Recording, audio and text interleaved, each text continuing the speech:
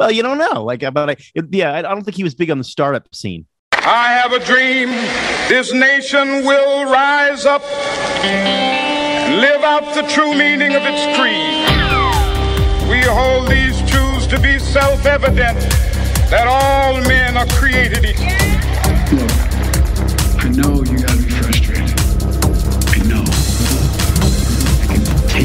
With all due respect, that's a bunch of malarkey. I've said it before and I'll say it again. Democracy simply doesn't work.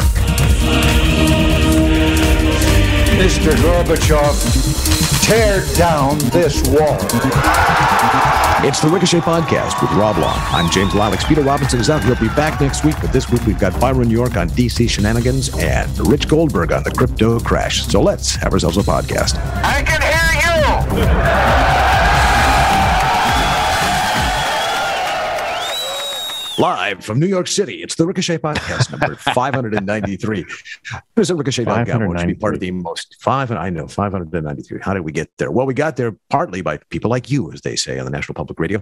People who've joined Ricochet to be part of the most simulating conversations and community on the web. Uh, you can join, and if you join quickly, fast, like right now, you can be part of the meetup that's coming in New York, where I happen to be. I'm James Lileks, sitting right now in that most coveted of location, a, uh, a hotel room with a fantastic view of an air shaft. Um, they say that air shaft is a bad mother. Shut your mouth. It's a great, it's a it's a fantastic, chic center of the world air shaft, as New Yorkers are like to uh, like to say. And Rob, you're also in New York. I am in New York. I'm uh, a little bit farther uptown from you, not too far. Although, you know, there's a, I, I just discovered this, I, I heard it, that I don't know exactly where it is. And I was going to the DMV, someone told me, oh, right around the corner of the DMV, facing the ocean. Uh, I mean, the bay, I mean, you know, is the, uh, is the old Cunard line headquarters. Uh-huh. And you could go and you could buy your ticket on the Titanic or something.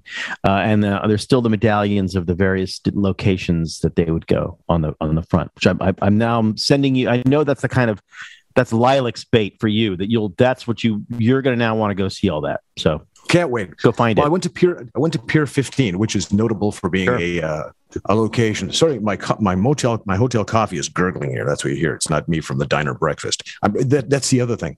I'm right across the street, literally from a diner with a neon Sure. sign. It's completely wrapped in construction like everything else. But uh, I went there for a breakfast this morning. It was absolutely perfect. None of that chic stuff for me. No, just home fries and white toast. Anyway, so I went to Pier 15, uh, where they had uh, it was a shot from Annie Hall was taken there, right? So I had to go stand there and pay my respects. But there's a big, Right. big, big ship, and it's an old ship with the rigging and the sails, and the rest of it's a big tourist attraction. Sure. And I was noticing something: four mast, three masts, I think, two. There are flags. The topmost flag was the rainbow flag. The next most flag was New York State, and then there was some, I think, a New York City flag. The flag that was lowest in this order was the U.S. flag, which ought not to be.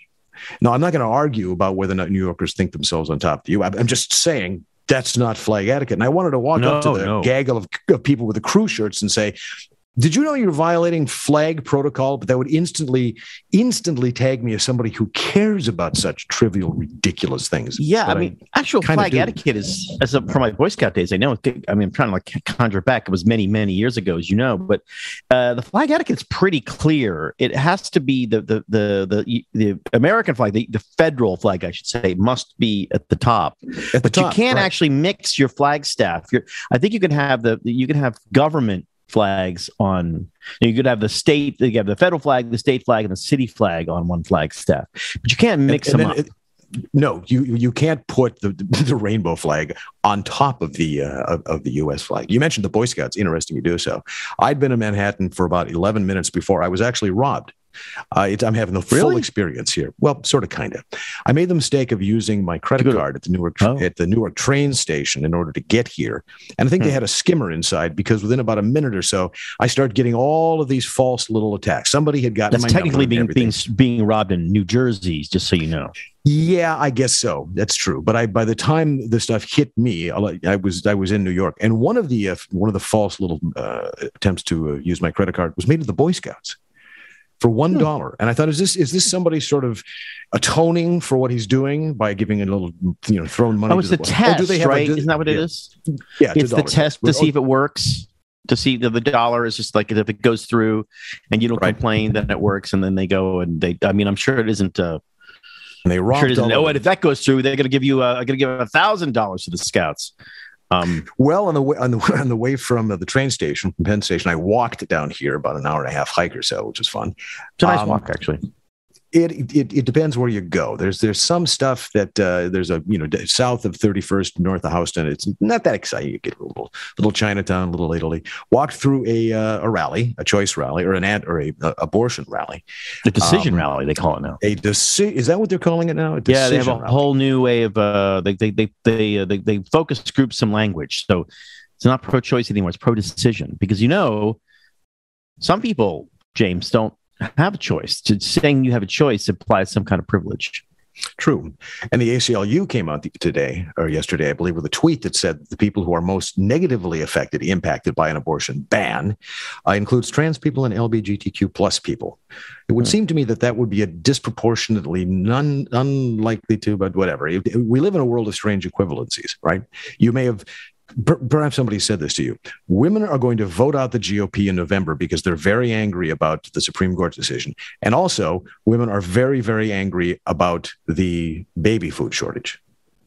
Uh, that's a false equivalency. But do you, do you do you note that that is now taking on larger amounts of Right. uh, unless of course it's just a Fox News thing. I think there was a reporter. Well, no, I think- I think it's true. I mean, I think it's, uh, uh, some things are. I think some things become uh, political um, sim- symbols or footballs, and they're stupid or they're silly, right? And some become political symbols, and they're meaningful because they represent something. yes. Um, and um, and, and the specific case here about baby formula represents a kind of a cavalier out of touchness that the Biden administration has, and the sort of the kind of the progressive uh, movement in general has to sort of ordinary people's concerns. So, the obsession with the fact that there's a formula going to the border may or may not actually tr- truly may not may, may or may not be true. It may or may not be as being reported in sort of the outrage uh, organs that we have, but it does symbolize something that people know to be true, which is that in the middle of what is in fact a domestic crisis on a bunch of fronts, the Biden administration seems unable to take one action or two actions or clear action of any kind to address the issue, or at least to signal to the American people that it understands the problem. So, you know, mm-hmm. gas prices are through the roof. And so, what does it do? It cancels pipelines, it cancels oil drilling leases. Now, you could argue, well, those aren't really going to come online in time, blah, blah, blah, blah, blah. That may be true. The psychological effect hasn't. It knocks down the price. It it does everything. Yeah, It- it and and it also su- suggests that the administration understands that you're in that there- there's trouble and it's trying to help. Uh, Mm-hmm. Their total cavalier tin ear, um, not not tin ear, they're utterly deaf ear to the concerns of the American people. Just it, it just it's staggering to me. In in a in a, I am not a doctor. I or not. I am not licensed to practice medicine in the state of New York, but a a president who was fully in command of his awareness facilities, meaning he was reading the newspaper, which all presidents do, or at least watching the news, which some do too much, or at least talking to his friends, which some do too much. He would understand that what he needs to do is go in the Oval Office tomorrow morning and fire a bunch of people, starting with his chief of staff, who is probably the most incompetent chief of staff we have had in the White House since I can't even remember when.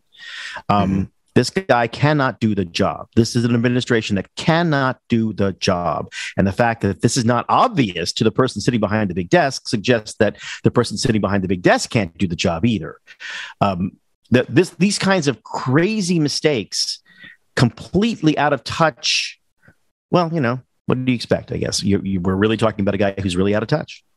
But It- I find that very strange for a politician. They said they've been on it for months, right? They've been aware of this for months. Well, if they've been on it for months and they can't fix a baby food shortage um, by changing the labeling requirements, all of a sudden, you know, airdrops, air, Right. airlifting some stuff in. If they can't do it in months, it makes you wonder what else they can do. Now, as we've as we've been talking about for a couple of years here since the pandemic started, we've seen every single institution practically that we expected would be able to do the baseline minimum to keep things going has has proven itself to be inadequate to the task. And I'm not exactly going to say that the nation's baby food infrastructure has shown to be wanting here, but if they've known about this for months and they haven't done anything, and all of a sudden we're in the situation now where they're scrambling and you have people on TV talking, as I heard this morning, that we need a national stockpile, a national reserve of baby food, like they're going to hollow out a mountain somewhere and store the stuff. No, getting baby food on demand on the shelf is part of the expectation of normal daily American life. Going Yeah, to the store and getting solves something. that problem. Right. And and if out, they're going if they're out at nine o'clock at night, they're going to restock whilst you sleep. And it'll be there when you get there in the morning. That's the Right, baseline right. expectation we have of stores all over the place. So that starts sundering. And it makes you wonder at some point, something is going to be is going to be illustrative and symbolic enough to be what I call maybe the Skylab moment. Do you remember Skylab? Yeah. Yeah, yeah. A Very important. summer I think you're right. There's a cultural touchstone. summer of 79 it fell and now it was designed to do so i mean they expected that it, after it outlived its usefulness it would Right. deorbit and tumble down And yet, but skylab falling was symbolic in a way because how you know a few years earlier we were going to the moon alice we were flying to the moon and now we put something in orbit and it fell it just tumbled and we had that sort of the Right. whole feeling that we had in the 70s that our cars don't work and our leadership is bad and our money is crap and our culture somehow that came up came together in sky so, so there's going i don't know if baby food is it but something is going to break it's, through sim- it's, sim- just it's symbolic. I think you're right. It is symbolic. I mean, that, that, that- symbolic of the way people feel and the way. And, and what was surprising to me is that when, I mean, I'm, I'm trying to be nonpartisan about. it. I think of just in terms of Mhm. what what happens with presidents when they get in there. When presidents get in there, traditionally, I mean, this is like begins with Warren Harding, or doesn't begin, but you know, Warren Harding said, Mhm. "Hey, it's not my political enemies I'm worried about. It's my friends. It's my goddamn friends." You know, that's who Uh-huh. took him down, right?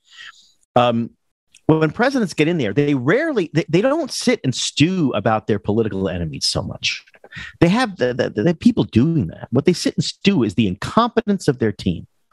When they blow a gasket, when when when Reagan very rarely blew a gasket, uh, it wasn't because Tip O'Neill had done something or some opponent had done something. That's considered normal. That's the state of play. It's because somebody on his team had blown it and made him Mhm. look bad or look stupid or look flat footed.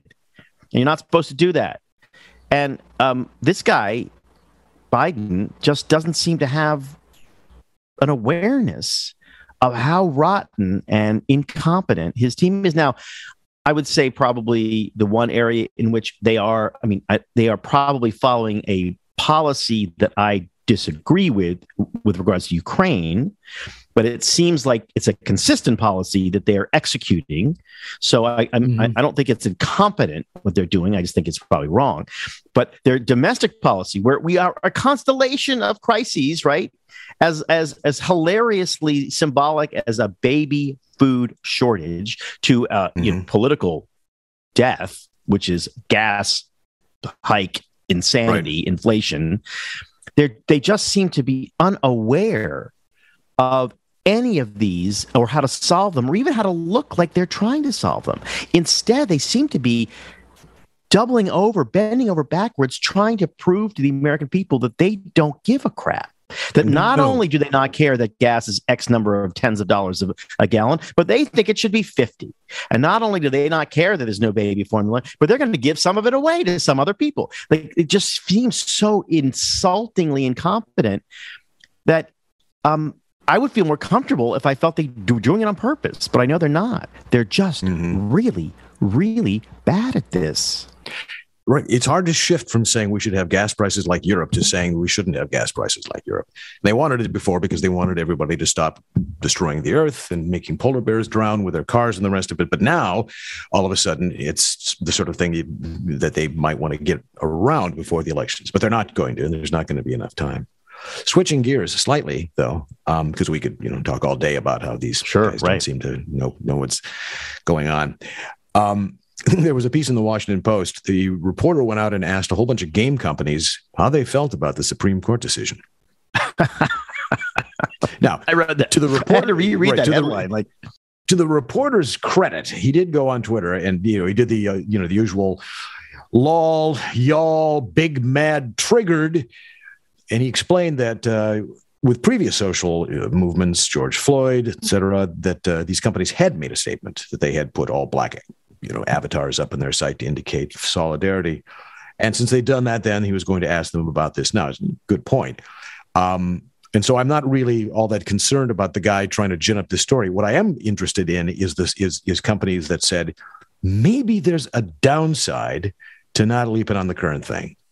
Maybe if we make peanut brittle, we should confine our comments to peanut brittle. But you can't do that anymore. I mean, the personal is the political, the political right. is the political, the economic is the political. So everybody has got to be out there with their flags flying, letting everybody know they're virtuous. And in this case, it actually comes back to bite some of them because they don't want to take a stance on that issue. It's also a more complicated issue. I mean, to be fair, I mean, uh, to these companies, first of all, it's bizarre to be calling up video game companies and asking them. I mean, it's one thing to say, "Hey, do you think um, a policeman should put his knee on somebody's chest and kill him when he's unarmed?" Mm-hmm. Um, and the answer is like, no, I don't think that should happen. Right now, the fact that it happens, you know, fewer than ten times a year, the fact that it's rare, the fact that everybody went insane about it, and oh, and, and the country kind of convulsed itself into uh, overreaction involving riots and riots in the streets. Um, it's a separate issue. The, the primary issue is it's easy to ask up somebody a simple question like that. Um, the question of the, the, the problem with abortion is that the question itself, people know they have been used to lying about, and they have been used to lying to other people and to their own conscience about. Um, and the great benefit of the Alito decision, if it becomes a decision, um, and I guess we won't know for a couple of weeks, uh, is that it forces us to clarify what we really mean. That we really don't mean pro choice. Because if we really meant pro choice, we're not saying you're, we're in favor of abortion rights from conception to, I don't know, 20 minutes after delivery, 10 mm-hmm. minutes before delivery. We're not saying that. 20 minutes. We're not saying, and we're saying you're pro life. Well, you know, the, the Dobbs in Mississippi is not pro life. It's just 50, the first trimester. Mm-hmm. Um, so all of these gray, complicated areas are where you sort of examine your own conscience, or where if you are uh, arguing in good faith, you try to persuade your friends and neighbors and loved ones, and maybe even fellow citizens of your of why you believe what you believe. Zero of those things can be adequately discussed with a Washington Post reporter if you're an executive or designer at a game company. It just seems so stupid to me, and the, the fact that the entire and I, I say the pro the pro life co- movement is probably this way too, but I don't really. I'm not quite 100% sure about this, but I'm 100% sure that the traditional pro choice community is so unused to having to talk to people about the complexities of it and the mm-hmm. complexities of their conscience and the complexities of what human life is that they are absolutely they see they see no reason why you shouldn't have a snap answer to this very complicated question that has been bedeviling people for 50 years and has caused a lot of people to change their mind based on things like an ultrasound, things like mm-hmm. having a baby, things like seeing a baby in an ultrasound. And well, you can't do that. I mean, you, are not going to be able to do that under the law, the law that they just attempted to pass, right? Yeah, there's a lot of that. So I mean, that's one one of the reasons why that that law, instead of being a normal law appealing to normal people and codifying Roe v. Wade, which is a 50 year old uh, decision, went way, way, way farther than it needed to. Which is another reason why what is what is equally surprising to me that Joe Biden is a terrible president, an incompetent administrator as president, and his team is incompetent. Is that Chuck Schumer, who's been sitting in the wings in the Senate for so long, watching good and bad Senate majority leaders, is so terrible mm-hmm. at a job which has essentially given him so many gifts, which is his hands are halfway tied around his back, and he could get so much done if uh, if he could convince Joe Manchin and one one lady from Maine, pick any lady from Maine, uh, and he simply can't do it. He could have been the hero here, but mm-hmm. instead he's so in the thrall of the crackpot left wing um, that he got nothing done. And to, to, me, it's just baffling. It's baffling. And and the Washington Post reporter asking game companies to to you know, snap their fingers and render a judgment on this, and the, their their inability to understand that this is actually a complicated issue. That good people, really decent people, some of them are even liberals, some of them may even be climate change activists, are on mm. the fence or in a gray zone about this. Um, doesn't speak doesn't doesn't make me optimistic for the chances of the big umbrella pro-choice movement to convince American voters uh, to agree with them, which is what the Alito decision asks right. them to do. And if if you're refusing to do that, if your argument is we hate we hate Justice Alito because he's going to make us have to persuade people, um, I don't know. That's not does not move in me. Well, persuading people leads to compromise, and you can't have that. You talk about how it's complicated. If you pass or attempt to pass a bill which does away with all state restrictions, which does away with the ultrasound requirements, which even chips away at RFRA when it comes to forcing re- religious institutions against their beliefs to commit to uh, to perform abortions, right, right. then you are not interested in persuasion. You are you don't think that it's complicated at all, at all. It is simply anything that gets between right. this and that is wrong and is oppressive and patriarchal and handmaiden's tale and the rest of it. And we have to put on our red costumes. Anything short of what they wanted to pass, it tells you that there's really not much room or desire for complicated thinking or persuasion otherwise. Because if you if you need to be persuaded, then you are wrong thinking, and you are wrong thinking probably for reasons that have to do with Christianity or patriarchy. Full stop on that because we want to talk about something else. As I mentioned before, I am in New York and I am in a hotel room. And I got to tell, I like this place. It's a great place, but I am just not crazy about the sheets. And just not. Uh, I mean, they'll do. It's a bed. I'll sleep. It's New York. I'm exhausted by the end of the day. But it's one of those places that advertises, I think, that they've got 9,000 thread count or something like that. Did you know the thread count is an, it's, it's a myth? It doesn't matter how many threads your sheets have if they're not the best threads possible. Boll and Branch uses the best 100% organic cotton threads on earth for a superior softness and a better night's sleep. Their sheets aren't just buttery, breathable, and impossibly soft to start with. They get softer with every wash, and that's what happens with me. I can't, you know, I sleep on them, Boll and Branch. So it's when you go elsewhere and you're not sleeping on Boll and Branch that you realize the difference. I mean, these sheets might be new. I don't know how many times they've been used and bleached and washed and the rest of it, but I guarantee that they are the worse for wear for having been used and washed and bleached, unlike mine at home, which are as soft today as they were, well, softer than the day I got them. Signature hemmed sheets, they're called, from Boll and Branch. They're bestseller for a reason. Boll and Branch uses the highest quality threads on the planet for a superior softness and a better night's sleep. The sheets are made with threads so luxurious they're beloved by three, them three, U.S. presidents. They feel buttery to the touch and they're super breathable, so they're perfect for absolutely every season. Boll and Branch did not acquire over 10,000 stellar reviews for no reason. No. When you get the best sheets in the market, people notice. They're so confident that you are going to love them. Boll and Branch gives you a 30 night risk free trial with free shipping and free returns on all your orders. So head over to Boll and Branch to get total sleep satisfaction. Get 15% off your first set of sheets when you use promo code Ricochet at bollandbranch.com. That's B O L L and branch.com. Boll and Branch. Promo code Ricochet. And we thank Boll and Branch for sponsoring this, the Ricochet podcast. And now we welcome back to the podcast Byron York, chief political correspondent for the Washington Examiner and a Fox News contributor. His work has been published in the Wall Street Journal, the Washington Post, the Atlantic Monthly, Foreign Affairs, and the New Republic. He's also the host of the very essential Byron York Show podcast, available at, uh, well, this little thing we got going here called Ricochet, ricochet.com, the Byron York Show. Byron, welcome. How are you? I'm doing great. Thanks for having me.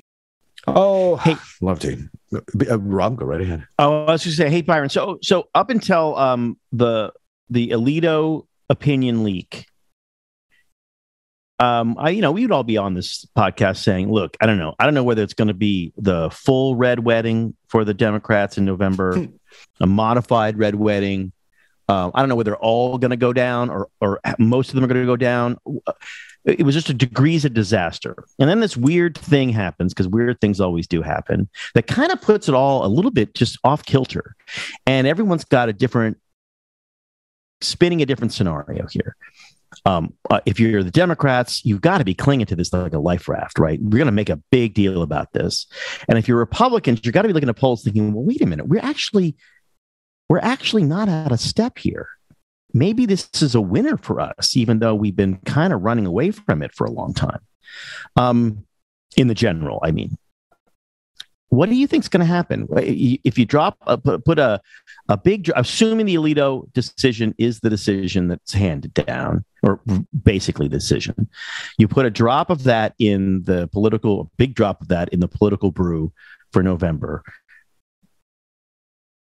what's going to happen well I think Republicans still win I mean, I think that's the the, the big picture here. Uh, obviously, the leak itself, which got a lot of people, including me, pretty agitated, is not going to matter. Uh, if the Supreme Court overturns Roe versus Wade, that's going to matter.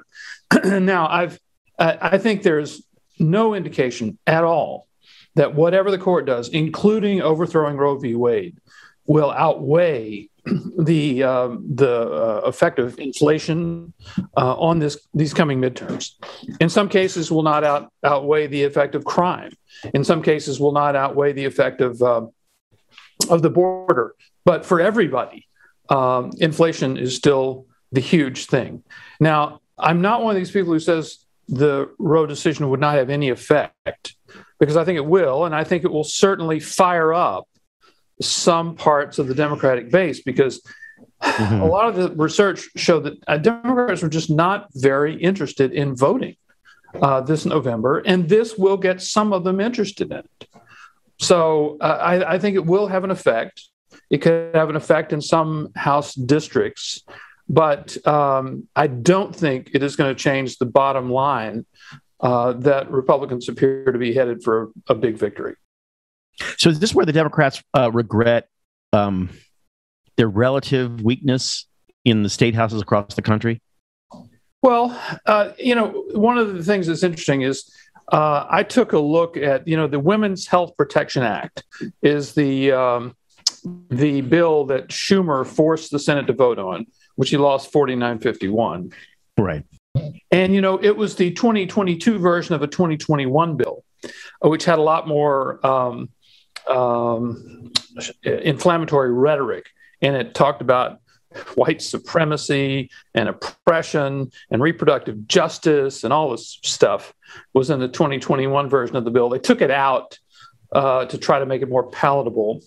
Um, but he, here's here's the thing here: uh, the the bill, which 49 out of 50 Democrats voted for, and which, by the way, uh, 218 out of 219 Democrats in the House voted for. Literally one member of the Senate who's a Democrat voted against it, and one member of the House who's a Democrat voted against it. The the bill, when they talk about it codifying Roe versus Wade, one of the big things that it did uh, would have done was it would uh, forbid the states from passing their own restrictions on abortion. Right. So all of these restrictions that you've heard of over the years, parental uh, consent, uh, counseling, all of this stuff, a lot of it which has heavy majority support. This bill would have swept away all of that. And 49 out of 50 Democrats and all but one out of uh, in the Senate, all but one in the House are committed to it. And I think what we're seeing with this uproar over the leak is that we, which we could have known anyway, which is that there's kind of a broad middle uh, yeah. in the electorate about abortion. The majority does not want to see Roe, Roe overturned. But at the same time, an even bigger majority supports limits, restrictions on abortion. So the it, this just tells you that they reject the people who want to make abortion legal for all nine months of pregnancy with no restrictions imposed by the states. Right. They reject that as much as they would reject people who would actually make abortion illegal um, in the states. So there's this broad middle. And I think Republicans are closer to the broad middle than Democrats are right and, and who would have ever expected that? I mean, you know, was within my recent lifetime, adult lifetime, the goal for the Democrats, and they did this pretty successfully, was to uh, point to uh, certain weird Republican candidates you know, running for Missouri, Senate in Missouri or various other places, saying certain weirdo things about um, uh, abortion um, for rape or incest or uh, I don't know, guy in Missouri saying, um, you know, if it's legitimate rape, or even when when Trump ran in in uh, in 2016, there was a minor little dust up when he said, "There's got to be some punishment for these women, right? There's got to be some punishment." Um, the idea was to always cast the Republican candidate, the pro-choice candidate, as kind of weird on this, yeah. and it seems like really within 24 hours, 48 hours from the release of that leak of that uh, uh, opinion, the whole political calculus switched. Yeah, I think what we are seeing now is the result, and I've been discussing a lot of this, like comparing the two bills uh, uh on my podcast. I think we're seeing the result of the fight over abortion for the last uh, 50 years. In that, um, in the beginning, there were some Republicans who wanted to overturn Roe, and they just beat their head against the wall trying to right. do it. And finally, in Casey, which I think was 92, um, the court says, no, no, we're not going to overturn Roe versus Wade. And Republicans uh, around the country t- basically turned to another strategy, which was to work on uh, imposing limits on abortion, um, like parental consent, uh, like uh, confining it to actual med- medical facilities, that kind of stuff. They worked on imposing these limits, and a lot of them struck people as common sense. Parental notification for minors uh, who uh, right. get an abortion. These things had 60, 70, 80 plus percent support in opinion polls, and Republicans uh, were pushing to to pass these. Now, Democrats, this put them in a position they knew that Republicans really their the long term goal was to overthrow overturn Roe v. Wade. They knew that. They put themselves in the position of believing that anything that Republicans were um, proposing was a nose under the tent, and that they Democrats must oppose it. So they ended up opposing a lot of measures that the public thinks are common sense limits on abortion, which made them appear more and more radical. And it made the Republicans appear more and more common sense. Or normal, right? Um, so mm-hmm. We have the situation. Uh, if Roe is overturned and it goes to the states, it seems like there is an opportunity for um, a lot of Republicans to gauge the feeling of the voters in each state, and it will be different in different states. Uh, but to really uh, put in place a lot of these common sense limits on abortion while not outlawing it altogether. Yeah, I mean, you know, Dobbs, Mississippi seems like you know it's, it's fair bet to say Mississippi's going to have one of the most stringent anti-abortion um, laws on the books, and Dobbs is was it week fifteen, so it's first trimester plus. Yeah. Um, you know, which was essentially the, the, the conception of Roe v. Wade when it was handed down in 73. Well, you see, I, I, here again, I'm just not an expert in the history of abortion politics, but another thing that happened, Well, why not, Byron? I mean, everything the we had you on happened, here for a reason. the other thing that happened while Republicans were working on these um, these common sense restrictions is that there was the the rise, uh, the growth of sonograms. Right, and right. that really changed a lot of people's uh, yeah. image of the fetus. Right. Uh, it and and improved medicine uh, brought the the time of viability earlier and earlier, um, and also the the Republicans um, or the use of what was called partial birth abortion, their actual coining of the phrase partial birth abortion. These are all extremely effective and they led to more and more support for these common sense measures. Um, now, you could say that, you know, if the court were a political institution, which clearly it's not, um, that they would just uphold the, the Mississippi law. You know, 15, right. then you'd have a political debate over 15 weeks. There, right. there be a lot of people who thought six weeks in Texas was way too early because right a number of uh, women, and I will say it, women are, are the ones who, who get pregnant. How dare you? Um, a, a number of women. Okay, but I mean, but people now. are having. I mean, the thing about it, which makes it so, so surprising to me, is that people in America. I, I think these are silly, but they're doing it. They're having gender reveal parties Yeah. at what 18 weeks 18 21 weeks that's when that's that that occurs like so they're having scheduling parties they're celebrating the baby If you don't want, having. if you don't want the baby, it's not a baby. It is Right, but what I'm saying is that this is a cultural thing that's. If happening. you do want it, it's, it's a Right. Right but it's a mm-hmm. cultural thing that's happening so it, it seems to me that I, I'm, I'm i'm just how do they miss how how does a a big political machine that presumably is trying to keep track of this how does that how does a big political machine miss this Yeah. Well, I will say that going to uh, Democratic political events, and I don't go to as many as I do Republican events, but going to them like Democratic conventions, for example, when people talk about uh, abortion as being kind of a sacrament uh, in some Democratic political circles, that's really not much of an exaggeration.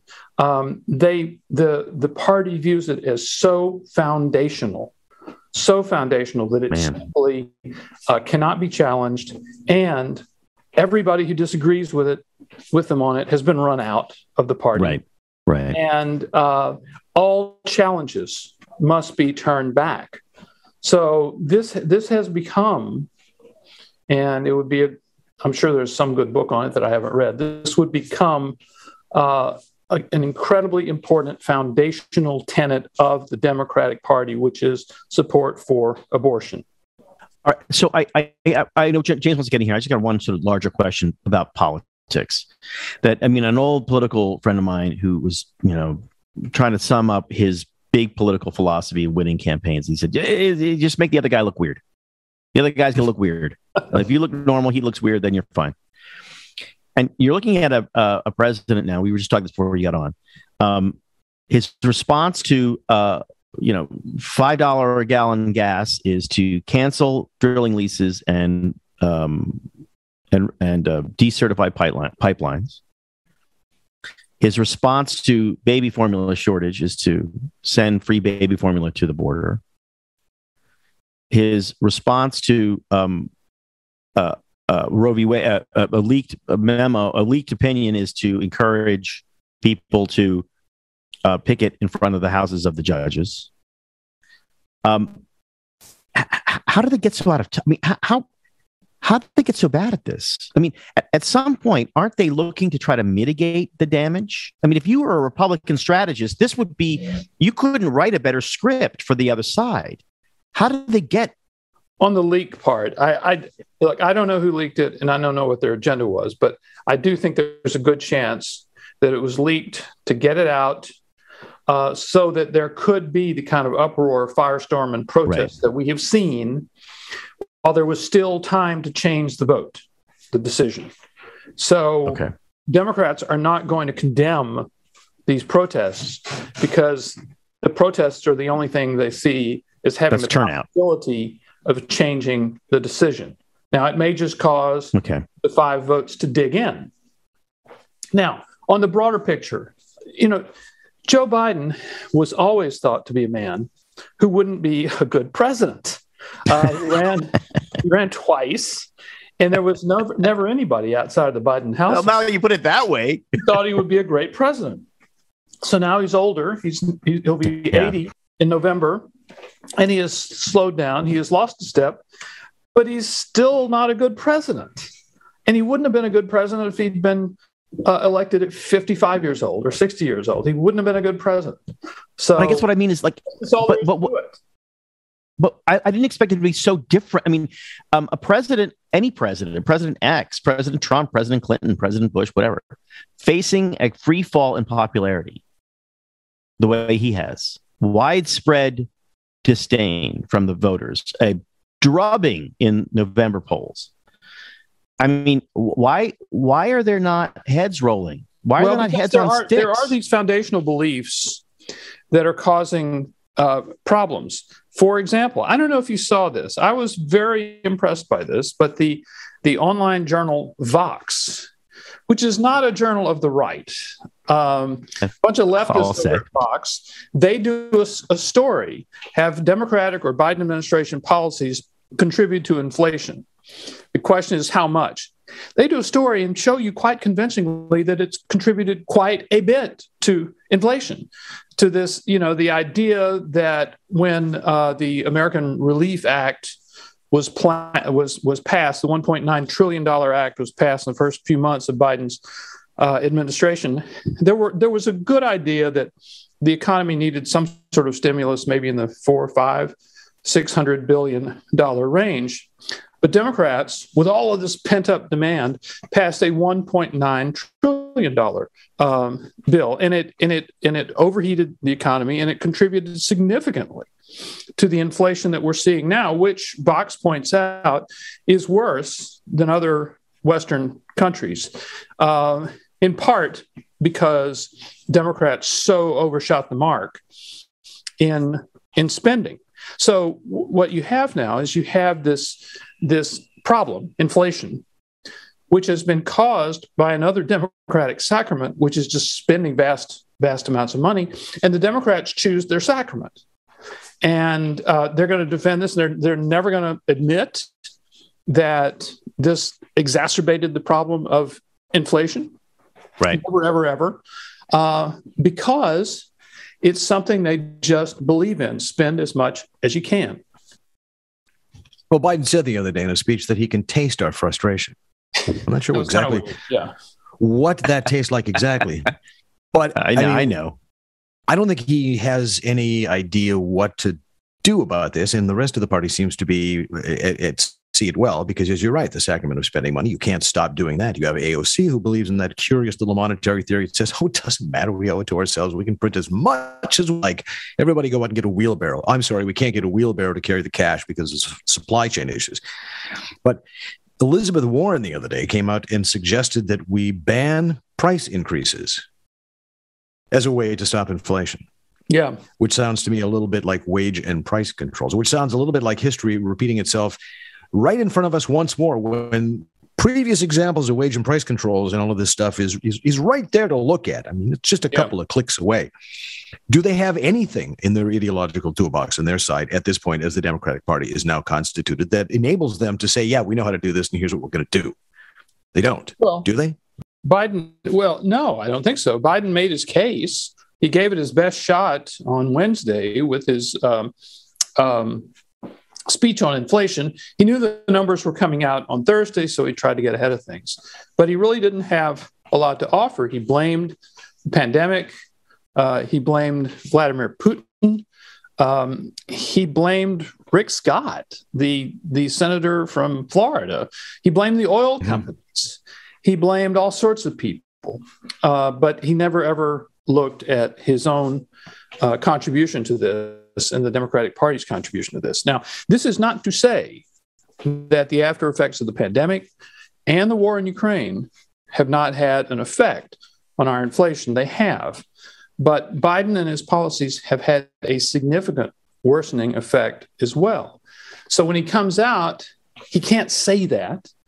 He talks about cracking down on the on the oil companies. He talks about achieving let's say energy independence, except they call it real energy independence, which is somehow we're going to all become, uh, we'll be driving electric cars by 2030. And that will somehow uh, reduce inflation. They're out of ideas because the things that they have put off the table, like not spending, not passing more $1.9 trillion bills, they, they won't put off the table. Yeah. Well, we indulged a lot of this stuff because we were fat and has- happy and everything was going well. Okay, they can talk about electric cars. Okay, they can talk about solar and windmills and the rest of it. Oh, we're making lots of gas. We're an energy exporter right now. Go ahead, have your little fantasies. But now the crunch. Now we're out of gas. The price is expensive. Got no baby milk on the shelves, and inflation is rampant. And like I was saying before, you know, I'm waiting for the Skylab moment. If you remember that, Byron, when in the 70s it seemed as if the American trajectory was that of Skylab. But we know that's not the case with a dynamic, vital, and uh, pro- country like ours that can change course fairly quickly. I hope. I hope. Anyway, whatever course we take, the Byron York Show will be there to describe it for you. Byron, thanks for joining us in the podcast today. Been a pleasure as always. Thank you. Always enjoy it. Thanks. Mm, great fun. You know, I am right now myself. Uh, close to Wall Street. I could probably go over there right now and uh, and and watch my investments uh, vanish. I was wondering, I probably, you know, you have a stock market crash nowadays, you aren't going to see brokers throwing themselves out of windows because uh, no. they work at home. You know, they work at home, right? right. So it's, you know, so at the worst, it's out the second floor and they land in the bushes and they twist an ankle. Or they have a basement uh, thing. It's like, I got to walk, walk up right. the thing. Yeah. You got to walk up the stairs to throw yourself out the window. Right. Now, the idea of the brokers right. throwing themselves out the window after the 29 crash was something of a myth.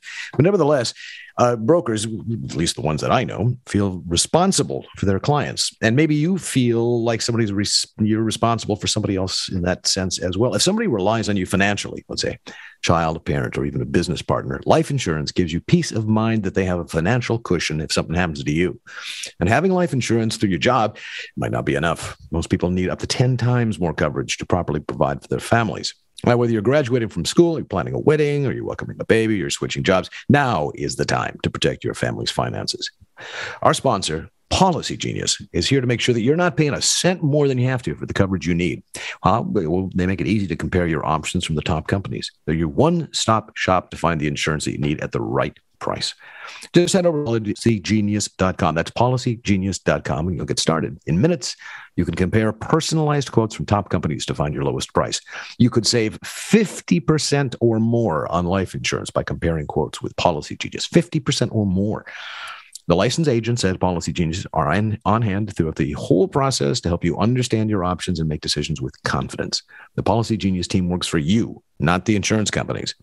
Since 2014, Policy Genius has helped over 30 million people shop for insurance and placed over $150 billion in coverage.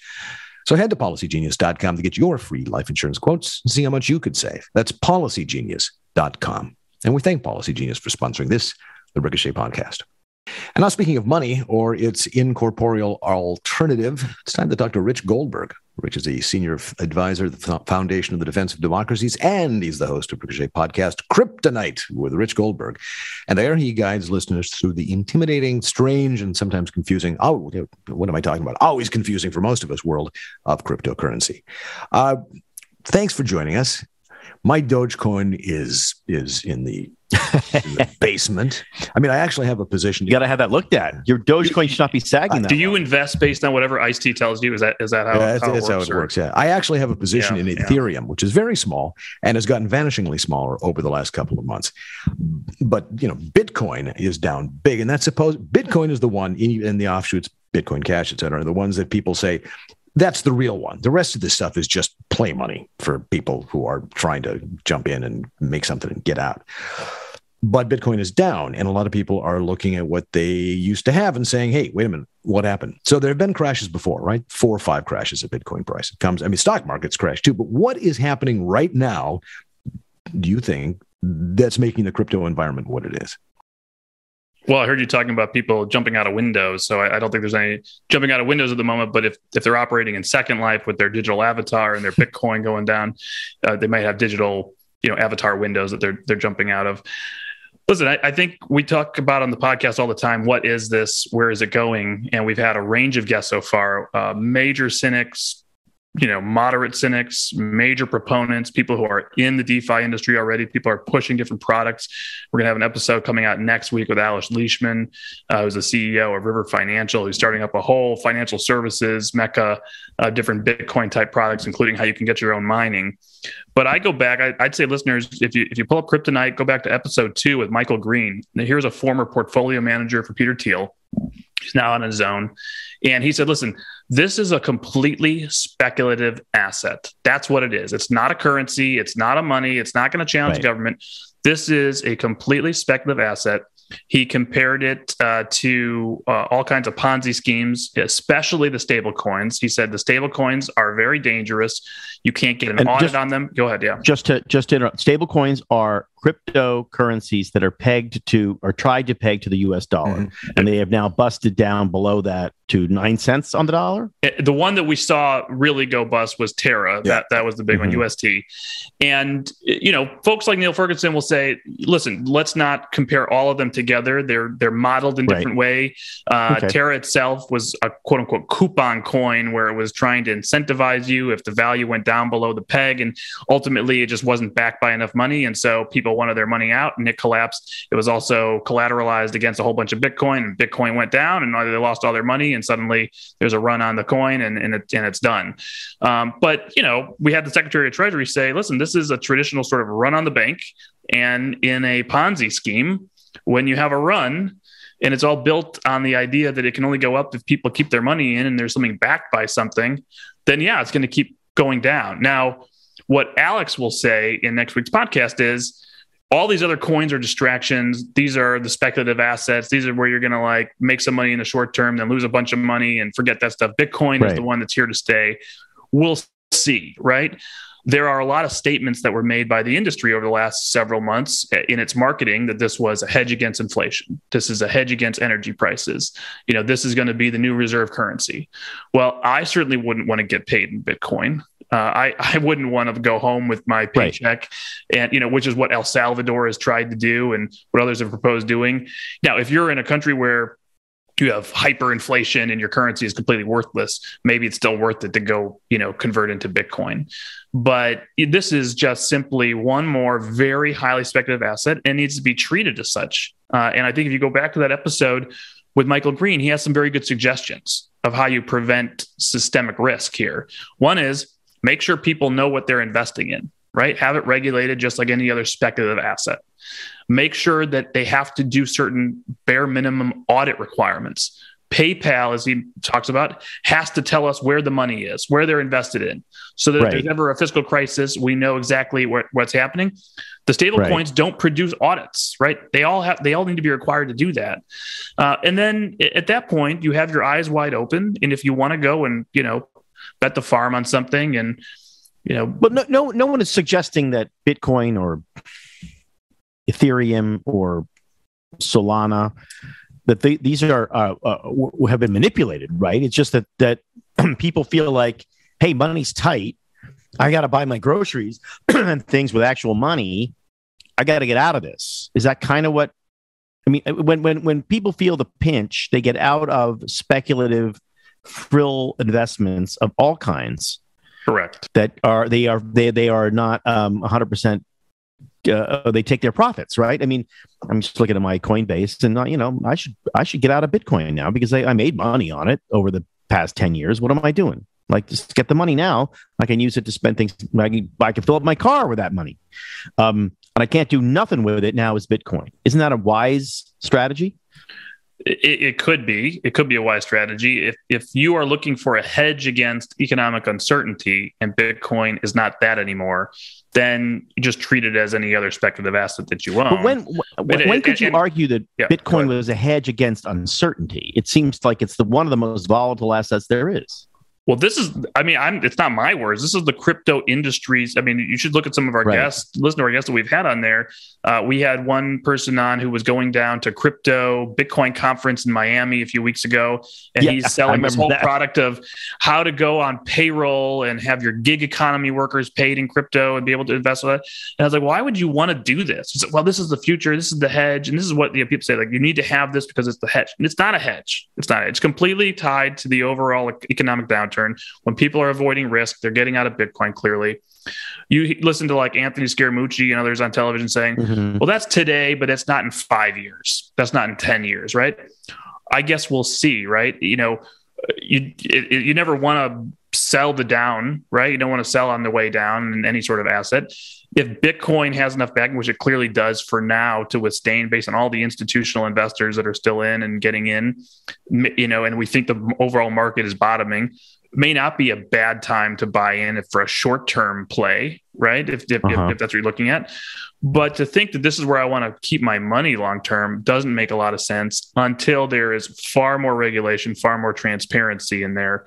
Otherwise, um, you know, you're really just sort of like in the middle of institutional investors making big, big bets, losing money, gaining money, and you, the investor at home, are probably going to get totally hosed. Well, they'll say that you don't need those audits because the nature of the of the blockchain itself and all the mechanisms by which these things are verified, proof of work, et cetera, means that you don't need auditors. It's it's inherently fraud proof. That may be true for Bitcoin, but for the rest of these, I have to ask, what is the difference between then between Bitcoin and all the rest of these other coins? Or is Bitcoin plagued by the same thing that eventually will drag down these insubstantial, meaningless little items in the you know in, in the cloud and the blockchain down to zero? What makes it? If you had money today, why would you say to somebody, "Well, if you're gonna if you're gonna go for crypto, go for the Bitcoin"? Well, Bitcoin is still sort of your standard base, right? So it's operating under its own formula and it's still being mined. And while it absolutely still will fluctuate up and down based on how many people are participating. So that Ponzi scheme feel, I think, is still there overall, right? There's still going to be some sort of value so long as people still hold it. It's still being mined. There's additional people out there. There's demand. The other, you know, financial uh, sort of ideas that have been cooked up, some of these coins, the tokens, the stable coins, the alternative coins, that they're now based on different metrics, different calculations, and they're leveraging this to pay for that, Peter to pay for Paul. And so when the music stops and, and there's no chair for somebody, Terra collapses, right? So you know, nobody's saying that Bitcoin's going to collapse down to zero overnight. I don't think anybody's predicted that. Um, these smaller coins, you know, it's possible. People looking at Tether was tested, I guess, over the last 48 hours. They went down below their peg. They're back up because they had enough institutional backing to, to stay afloat. But, you know, all of these things are very, very interesting. We still have so many institutional investors getting in. We're seeing this marketed now in sports, celebrities, right? It's not going away. It's part of our reality. But it's like this like sort of weird thing where I've now been at the show now for several months now. We've had all kinds of guests on. We're going to continue to look at this, you know, every which way. And it's like I, I personally just don't want it. You know, mm-hmm. I, I, I, that that's like my conclusion. Like, I don't need it. I don't want it. I don't think it's my future. I'm good. You're missing you know, out. And, you're missing out, man. You're missing out on community. you're missing out on all the new ways we're going to transform. Everything's going to be on the blockchain. Listen, there's something. I mean, the the other side of this, the other part connected to it. It's not a it's not a cryptocurrency, but in that digital realm, conceptually, are NFTs, right? And NFTs strike me today like the penny stocks. They are a way for people who are mystified by the whole thing out there, don't have enough money to get into it big, but want to participate. And so they feel like this is their way of getting. So you have people who have not a lot of money, but enough that they can throw 250 bucks, 0.002 ETH or whatever, and get a little thing. And I've been studying the way that these things are marketing and it marketed, and it's it's fascinating. Every one of them has this language about community and about what we're doing together, almost to the point where I think that it's coming from somebody who's not necessarily a native speaker of English. That they're that the, the daily run of mints of the pointless, ridiculous NFTs. If, if it all came out of China at some point, I wouldn't be particularly surprised. But anyway, so you get this NFT, you get into this this strange bizarre world where you're you're mining honey and your honey coins are used to slurp the monkey. And the monkey token gets you access to the metaverse space where they're in a fight against boyd board yacht Bored Ape Yacht Club. So you can't go if the system checks to see if you've got a token from the yacht. I mean it's just to me, it's an alternative. You're way deep on this. You are way. We need to have you. We need to interview you. yeah, what you got to have on at night. You can. Oh you can use two wow. slurps. That you can two, use two slurps on a monk is what I'm telling you. But it, well, it, we, it's a it's a it's like a religion. It takes the place of actual social interactivity, and and people feel like they're doing something new and modern, and it's going to make them money, and it isn't we interviewed an expert named Michael Greenwald. Uh, at the time, he was still at a family office uh, doing financial advising. He's now moved on uh, right after our episode aired to run Amazon's global strategy for digital assets going forward. He's thinking a lot about the cloud and its applications, cryptocurrency, and what's going to happen if there are central bank digital currencies and the Fed has a digital dollar and all these kind of things. So I asked him, you know, explain to us NFT, go through it, understand. He said, well, actually, I just went through the process so I would see it with my own eyes and understand it and be able to explain it. He said, listen, th- there is a niche world for everything, right? The art world itself is a niche world. And if you put a value on NFT art and, and, other you know forms of it, and you say this is how much I think it's worth, and this is unique, it's the only one in the world, uh, then there's going to be people who want it and people who want to put it on their digital you know walls or whatever. It's going to be on their phone. It's going to be on their frame tv in their living room whatever and say i i have this nft of michael jordan you know of whatever. Now me personally i want the actual rookie card. I don't want the nft i don't i don't really get it. But there are people out there who do. They're willing to pay big bucks for it. And his point is like listen you're not you're not an art collector. You know that world is not massive right? But but there's going to be a world of nft and there's a value for it and it's going to move and we should have concerns about money laundering just as we do in the art world itself and in other uh, situations. And we need to be very cognizant of it and put controls in place. But he's very convinced that you know he's in love with the nft he bought and he you know thinks other people are going to stay in that space and it will continue to have value. Yeah. and it, it, one interesting thing i thought was he said because of the blockchain attached to it, every time it moves ownership, the original artist could still get a royalty. Right, right. That's Which, that's what's interesting to, for people in the larger art market. The idea of a blockchain ledger for you know physical three dimensional art sales. Right, which which makes sense to me. Which makes sense to me. The NFT you know, uh, you know, a lot of these things are just it, it's, it's an acquired to taste. a JPEG.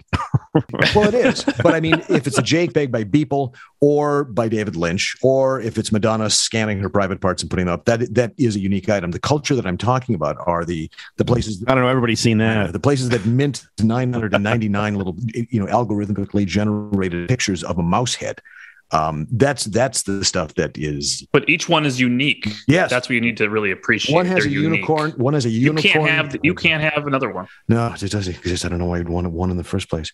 Kryptonite is the podcast. Rich Goldberg and Kryptonite, of course, the podcast is available here on Ricochet. Uh, it's fascinating. Podcast and, Ricochet that we've mentioned. It Coincidence.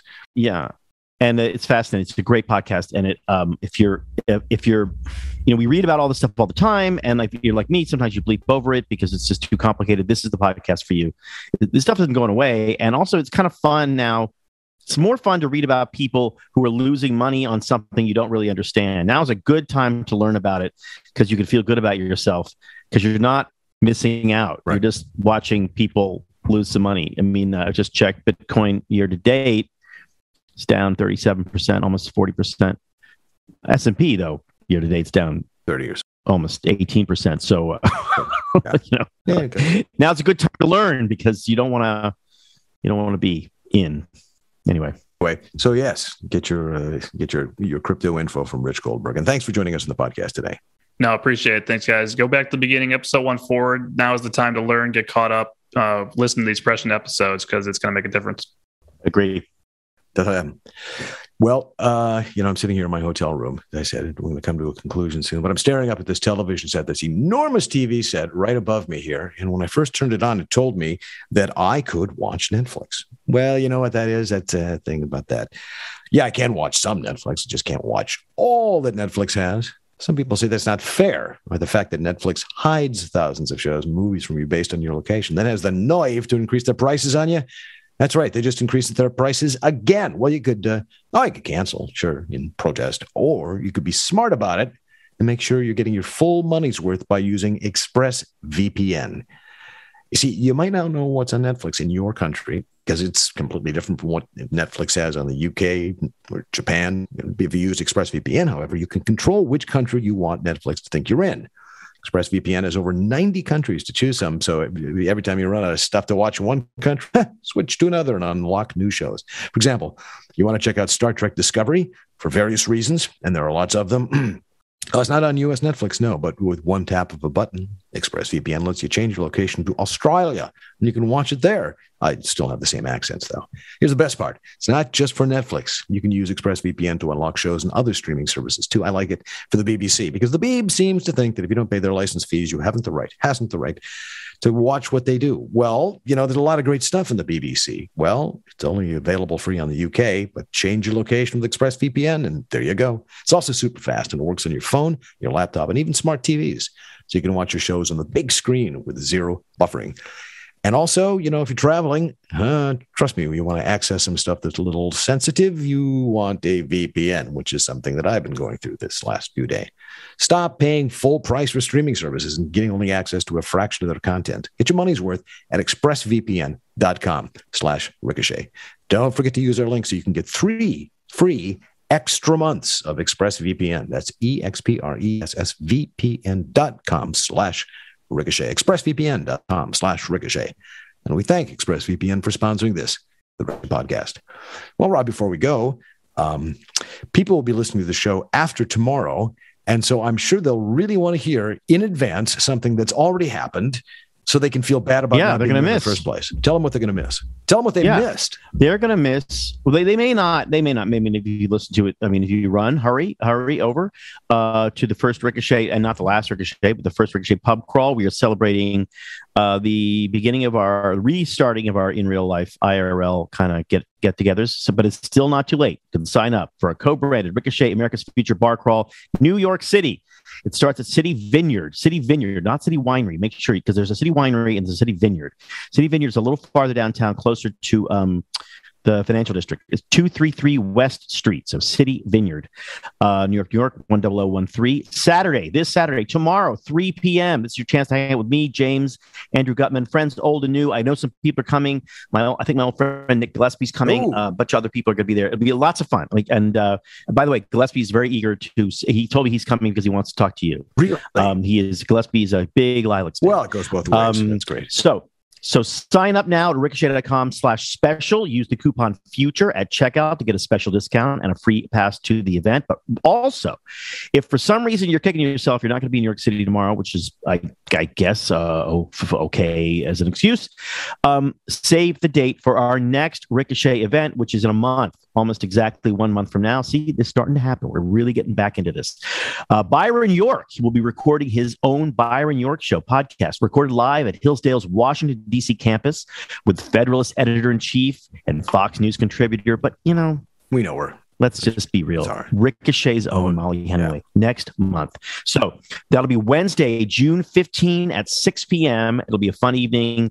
These guys are great. They're going to be fun together. They're fun separately. Uh, Byron is like always. Ter- Yeah. Byron's always terrific. He's terrific today. He's always got it together. And Mollie, of course, is so much fun. So And a more man of sign up enviable details. hair. You know, Yeah, he's got enviable hair. That's true. Yeah.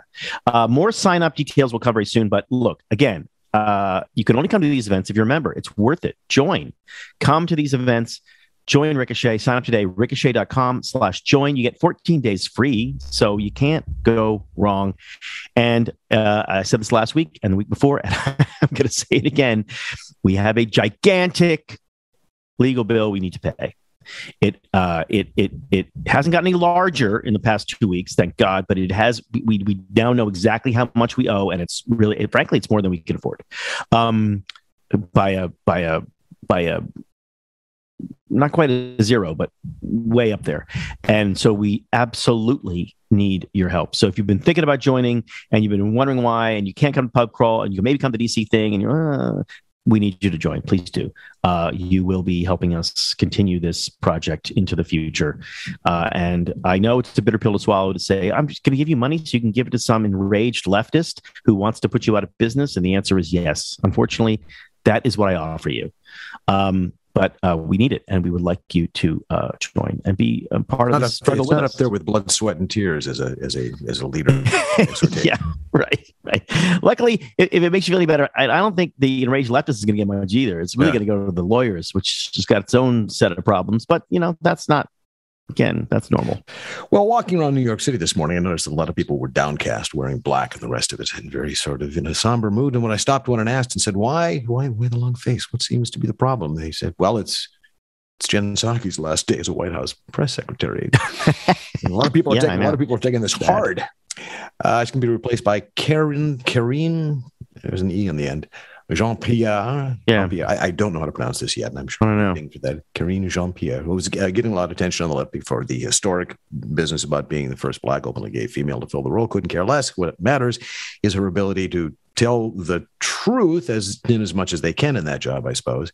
And I am looking some forward to somebody Right. who is going to not circle back and be as as, as condescending as Miss Psaki was. I know that she was revered, that she she handled all those rapscallions in the press corps, you know, that that ravening pack of angry people who every day took her to task with the most forceful sense. However, did she do it? But are you sad to see her go, Rob, or are you do you actually wish sometimes that this whole institution of back and uh, uh. forth lying and posturing was just simply perhaps abandoned, and we do it once a week? And you know, I'd rather have question time in the house, but but I, I think it's dumb kabuki, right? Because the people who care end up just saying what they say, and then it appears on the news channel that you've already Right. selected that gave you the news the way you want to hear it. Um, and none of it can cover up the stuff that matters. And the American people, the big people in the middle, the ones who kind of don't watch Fox News and kind of don't watch MSNBC or even CNN, just kind of like live their lives. Um, they don't watch this stuff, but they certain things get through to them, and those are the things that really are more about management than about you know Jem Sack, Psaki Saki. She can try all she wants. Um, I think she can do all she wants. She can try all she wants to spin, but she's only spinning people who either totally agree with her or totally disagree with her. It's really kind of a waste of time and money. What the by the time it gets to that lectern, um, they've already lost or won. It seems to me because that means the administration has kind of lost its way. It is it's neither touting its successes nor uh, uh, explaining away its failures. It's already kind of lost the thread of the conversation. You have to kind of be winning already. Um, and I I'm surprised that um, you know I mean it took Clinton a while to figure it out. Uh, Obama didn't really have to figure it out because the press was so incredibly lick spittle and compliant and would just sort of repeat whatever he said. Um, of course, everybody they all hated Trump so much that every every single one of those press briefings was just this, you know, horrible, vicious, bitchy back and forth, no matter who was at, at the lectern. Um, so uh, you know the, these things. I think. I mean, if I were president, I wouldn't have them. No, I would just. I, I think that I would turn, try, turn it into like a little little coffee room, and people could come and get a cup of coffee and a donut, and then I would pass out little sheets. waste of time. And like let everybody read it. Yeah. I'd like to go back to what they have in the, you know in England, question time, where the where the where the president actually goes and stands there in the well and, con- Oh and get and gets questions put to him. And there's yays and nays and, and groans and the rest of it. I would love that, except that we don't we don't really have a uh, you know we don't. have politicians who are able to spontaneously craft the amount of oratory required to make their also point like we ever. have equal These branches of uh, we have equal branches of government. So why should these these why should these these low rent congressmen get to question the president of the united states? It's like they don't know. Like nobody just grandstand you know really maxine waters should be Uh-huh. allowed to like stand up there and uh, question the president no forget it no way No, I'd love like to see uh, these these uh, you know I would love to fun see. I would sure. absolutely love to see Rand Paul um, ask some piercing economic questions about uh, to Joe Biden. To wrap everything up, you said at the beginning of the show that you thought the Biden administration was being reasonably competent in their Ukrainian policy, even though you didn't agree with it. And I wanted to give you the opportunity to tell us what you didn't agree with it. Well, I mean, I, I said re- reasonably competent in that they they have a policy, and that policy is to kind of thread the needle in a uh, and to play for time and to sort of herd the Europeans in a kind of a weasel wordy have half kind of way, uh, slowly along and try to make slow uh, um, progress with with Europe, with the French, and with the Germans, and and in that sense, I suppose you could say that they have been um, that, that they that's a that's a policy, they they they have executed that policy. Um, it seems to me that what they've done is they've been extremely lucky. They've been playing for time, and time so far has been um, kind of on their side, but not really on their side. It's been on the side of uh, the, the Ukrainians. The Ukrainians are the ones who have uh, uh, literally skin in the game, blood in the game. Um, you know, Mariupol is going to fall to the Russians without a doubt, and all the people there are going to die, and the Russians are going to kill them all. Um, that's I mean, I went and was briefed on this on, on uh, Tuesday night um, from very knowledgeable people, and it was, uh, you know, it's it's, it's grim. Um, there's probably uh, the Russian army is, is cl- this is I'm just repeating what I heard, so I'm not I'm not these these are people who've been studying this. Russian army is uh, you know very very close to actually falling apart to, to pure disintegration. Um, uh, they can't because of the way they've been deploying their troops and because of the troops specific troops they've been deploying including fsb troops meaning the internal Mhm. security troops that are now in the ukraine and the uh, untrained raw recruits are now in ukraine and the training officers the training corps that are supposed to train the new recruits are also in ukraine so they no longer they don't have new recruits they don't have anybody to train those recruits we're talking about a six month period for the russians in which the russian ability to fight will be degraded uh, until maybe December, January 2023. So the two things could happen. One, three things, right? One is the Russians could dig in, in which case they stop trying to take more territory. They just try to hold what they've got, which would be the smart thing for them to do. Two is they to keep going for broke, depending on what the Ukrainians do. Three is they try to make a mess in Moldova so they can start bargaining away in Moldova uh, to keep uh, the whatever gains they have in the east. Um, what they don't count on, and which right now the Ukrainians probably couldn't muster, is a Ukrainian counteroffensive, which, if it came in the next eight to 10 weeks, could actually break the back of the Russian army, um, which is something that um, is either a policy or it's not a policy. It's certainly not a policy of the Europeans. I mean, Macron said this week that we should be looking for ways not to humiliate Putin. Uh, it's unclear whether it, it, it seems like it's not a policy for the United States. But I think the United States policy and the Ukrainian policy are going to start to diverge. Because if you're Zelensky, if you're Ukrainians, you're like, well, wait a minute, w- w- why are we putting up with all of this? Uh, And by the way, it is, according to these guys that I talked to, it is a bloodbath there. It is not. This is the, the, the Russian atrocities are staggering. Everyone who is even on the fence of saying, well, you know, the Russians, are, and uh, my advice to you is to sort of clam up a little bit because you're going to be, it's going to be really ugly soon. And it's going to be revealed just how bad they have been. Just the the sheer number of civilian deaths, the sheer number of mass graves, the sheer number of like what they've been doing, the filtering. They call it filtria, filtraska, where they go through systematically through a town and and and execute civilians um, for having certain character traits. Um, uh, so, so if you're Zelensky, you're like, well, what's this all been for? It we, we want the original borders of Ukraine restored. Um, so he may. Why should he make a deal? Maybe he should fight. Maybe a counteroffensive rather than a defensive action, which means they need artillery. Right, which they're getting. Uh, more and than they're getting they're getting very Which- expensive, right. very powerful, very accurate artillery. Which which Right. the more they push north and east allows them to hit the supply lines and the rail lines and and, and do damage Right. the likes of which they've never done before. So yes, it has been bloody and it's been hard. But uh, if you want to look at if, if you had to throw your lot in with one or the other purely on the question of morale, where would you go? Oh, the Ukrainians for sure, absolutely, hundred percent. I mean, it's like they're Right, they're defending defending their country as, as opposed to the Russians. yeah, twenty thousand Russian dead is a an, an uh, uh, probably an underestimate at this point.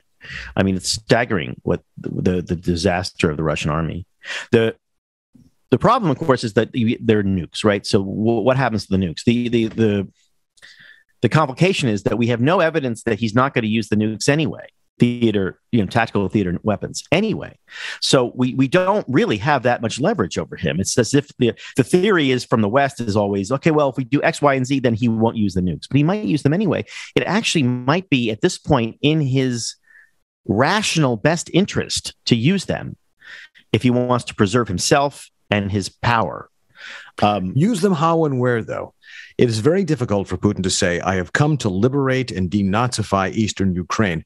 And I'm also going to completely Right. irradiate it and make it uninhabitable for the people to live there. I mean, what he's done, what he what he's done to de-Russify the attitudes in the eastern provinces, from what I understand, of people that I've talked to, I, people who previously were just, you know, here I am, I'm living in this, the Russians are here, whatever. Now they hate these people they intensely, and they want them all dead Yeah. because of what's happened. So Right. it's unlikely that he's going to nuke that region. It seems unlikely that he's going to throw a nuke into Kiev. And I'm saying Kiev because I've been saying it all my life. I'm not going to say Yeah, yeah. not gonna- Chicken Kiev, say Kyiv. So I'm going to say Kiev. Kyiv. Dang it. Um, when I say Kiev, I mean, it's just anyway. He's not going to nuke Kiev because then no, no, no. okay. So so. But also, like, So are you he may not be able to launch it, right? well, there's that. So I mean, but the Russians were great at their tactical battlefield nukes, right? The little tiny ones, which make which have, but those were against mass amounts of NATO armor that was pouring over the border or pouring towards the border to defend against the Russians. So there's, I mean, who are you going to nuke? I hate to make a Ghostbuster song out of this, but if you've got the Ukrainian forces dispersed and doing all kinds of very clever communications, there's Right. command and control is Right. so much better, obviously, than the Russians. Um, who's there to nuke? It- It'd be better to use chemical or biological, which and then biological. You know, again, what are you going to do? Give them smallpox while they're hiding in the forest? They run. Um, so I, It's, yeah, it's very close to sure- I'm not sure how that works. No, all that's all that's true. All that is true. I guess the question is that that in, in many ways the opportunity for Americans is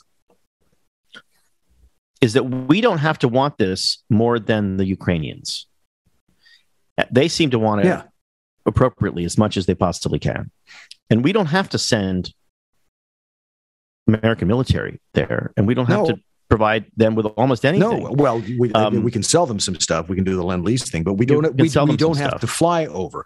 We don't have to send troops. no, You know, we don't have to do are there a couple of advisors on the ground? Probably. Are there a couple of you know? Is there some back and forth coordination? We've all. I wish the administration wouldn't say, uh, well, "Yeah, we've been helping them with, with satellite information." Sure, absolutely. I mean, shut up about that. Can we just keep our mouth shut Yeah. about something?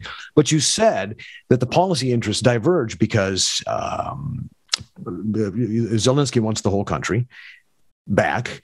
And Macron doesn't think that Putin should be weakened by this. I'm not particularly, you know, saddened if he is. But Biden has said he's evil, he's a monster, he has to go. I mean, the Biden administration has said, Yeah, but well, they walked it back. The yeah. regime change is part. They now they can back. walk it back, but what world leader, having learned that the president of the United States wants them dead, says, "Boy, I hope Right. they take that back tomorrow. I'm not going to sleep well tonight until they do." No, you can't take that. You can't. You, Right. So if if we take them at face value, then the administration and the left, which got in favor of this war for a variety of reasons, um, is now in the same page as Zelensky, and, and you're not going to see that divergence at all.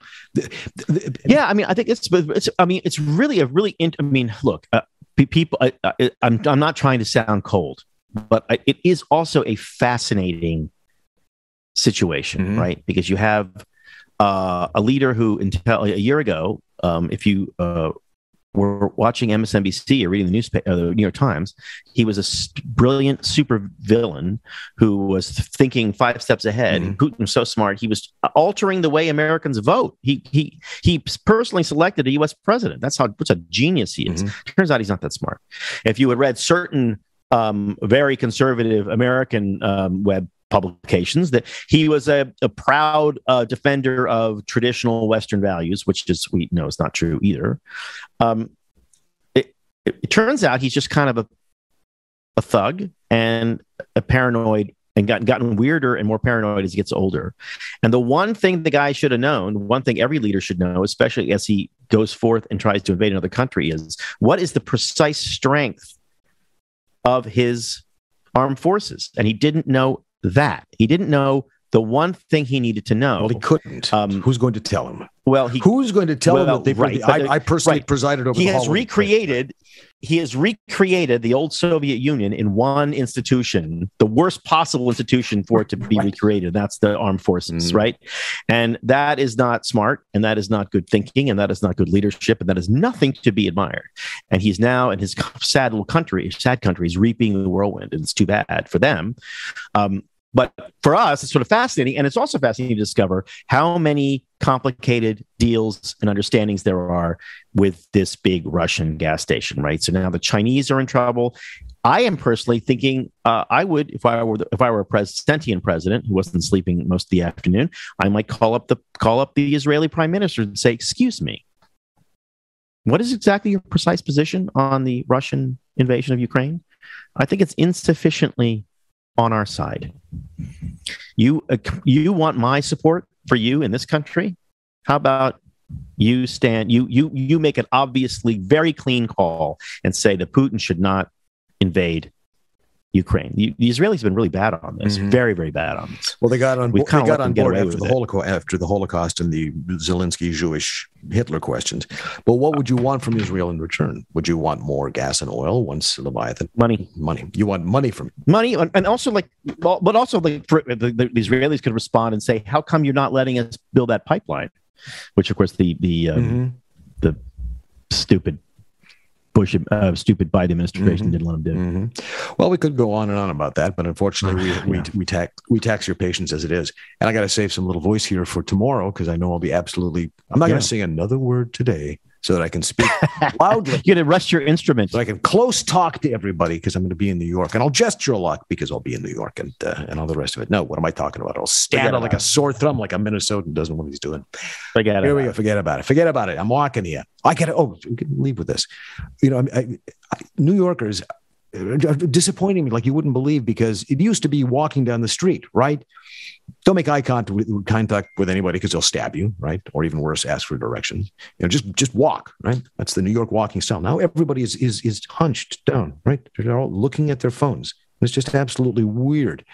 Right. So I'm thinking the idea that there's even a, a, a, a- spark of the Ratso Rizzo in these people anymore, that somebody would slam on a car hood when a car encroaches on the intersection and say, I'm walking here. You know, is that gone? Is that, swear to God. I wrote, that, Um, I wrote that in a column. And then I stepped outside after I finished the column to write a cigar. and I'm walking out and I'm, there's a, this family that's moving down the street, mom, dad, and two little kids. And the dad says to the kids, what do we say if a car starts to go through the intersection and the kids like 7 10 both shout in unison i'm walking here he said what do we Really? I'm walking. I'm charmed to my heart. I can't believe it. That I, I said it didn't exist. Here literally is the father bird teaching his younglings how to properly respond when the car gets into the intersection. I was sad. so to my dismay, they turned into my hotel. They walked to the elevator. I walked with them. They're not from here. They're not from here at all. So the only I can think if the New Yorker spirit like that is brought back, it's because of the immigrants. It's because of those who come to this great city and remind them of the character and spirit that they had, that they were indeed walking here. Without a doubt. Brought to you by Boll and Branch, Policy Genius, and ExpressVPN. Support them for supporting us and join Ricochet today, won't you? Please take a minute if you won't. Please to leave a five star review at Apple Podcasts. Helps new listeners discover us, which helps keeps the show going, etc. Hope to see you on Saturday with Rob. It'll be great. Everybody else, well, we'll see you in the comments. Oh, by the way, Peter, Peter Robinson, remember him? He'll be back. He's just away. He'll be back next week. Until then, we'll see you in the comments at Ricochet 4.0 Next week. Tomorrow.